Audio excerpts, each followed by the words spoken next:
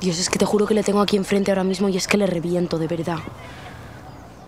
A ver, que nadie te tiene que decir con quién puedes hablar y con quién no. Ya.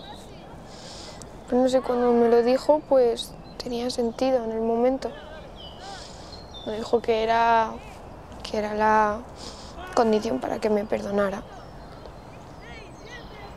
Pero Nora, ¿cómo que la condición para que te perdonara? ¿Te estás oyendo? Mira, tú vas a coger ahora mismo y le vas a decir que no piensas aguantar esto. Pero tú has aguantado cosas de Joana, cosas que no aguantarías en otro momento, ¿no?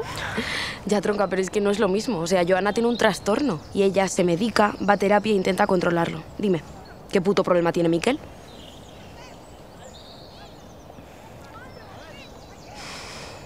A ver, tía, tú, ¿te acuerdas de cuando discutí con Joana y me dijiste que hay pues ciertas líneas rojas que no puedes cruzar, que no puedes perdonarlo todo. Pues esto es una línea roja, tía. Y yo no se lo permitiría a Joana con TLP o sin él. ¿Siempre se ha portado así? No. A ver, le, le molestó que no le contara lo del cumpleaños de Alejandro y se pensaba que Jorge iba detrás de mí, entonces me pidió que ensayara menos con él.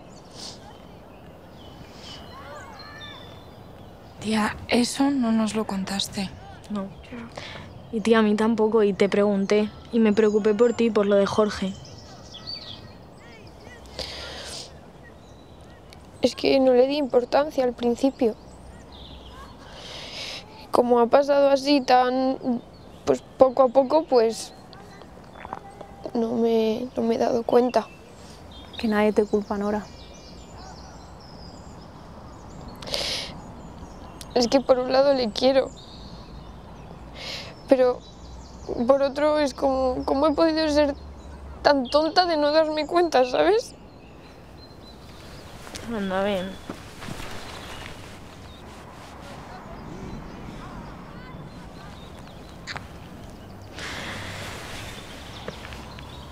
A ver, ahora lo importante es que sabes lo que tienes que hacer, ¿verdad?